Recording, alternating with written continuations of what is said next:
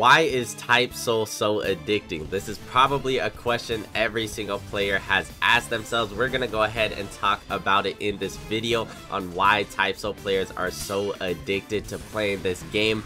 Going from. This game just dropped at the right time and there's a lot of things in game that keeps players just going and going and going and going. But if you enjoy this video make sure to smash that subscribe button smash that like button turn on post notifications for more bangers like this every single day. Thank y'all for 11,000 subscribers at 15,000 once again. We are giving away a ball of fireworks essence and a partial essence so join the link in the description to go enter that giveaway. Without further ado let's get straight into this video man Though for those of you that don't know, Cetra was the owner of a Type Soul copy and Type Soul was kind of dead at the time and this game was taking over and he decided to buy over Type Soul and he saw the perfect opportunity to drop this game, bro. There was no content coming out for months, bro. We were about in a six, seven month drought with no content since Peroxide dropped Everybody was so excited and playing that game, but it just started drying out. Their updates weren't very consistent, so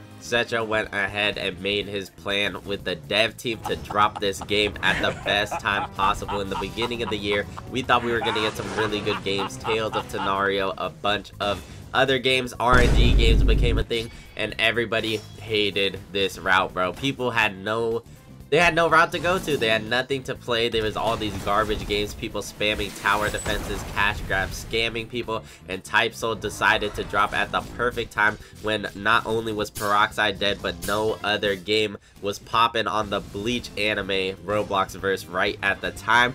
So, what happened, guys?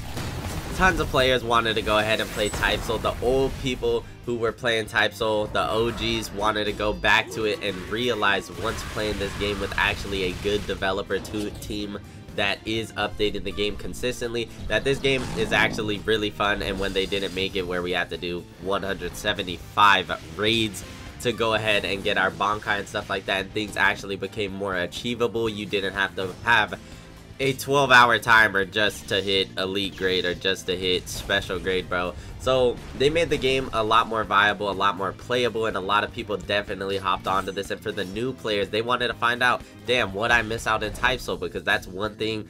Type Soul died in like three weeks to a month bro. It wasn't something everybody got a chance to play. A lot of people were neglecting it putting it off and then by the time they got to it it was dead bro. But one huge thing in Type Soul as well that makes it so addicting is the RNG in its own game as a lot of people don't see it like that but they give us codes they give us all these things that we can do. We can do 2v2s we can go into raids boss raids clan wars and get rerolls. And what are rerolls? You're pretty much RNG for items guys. Everybody wants the legendaries. Everybody wants the best thing in the game the new metas. So they give us codes and let us roll over and over and over and over and a lot of people aren't realizing that's actually what you're doing. You're not you're, actually playing a game sure you do have the combat the game's actually really fun. I personally enjoyed the game and was addictive to it for a bit as well and i know a lot of others are and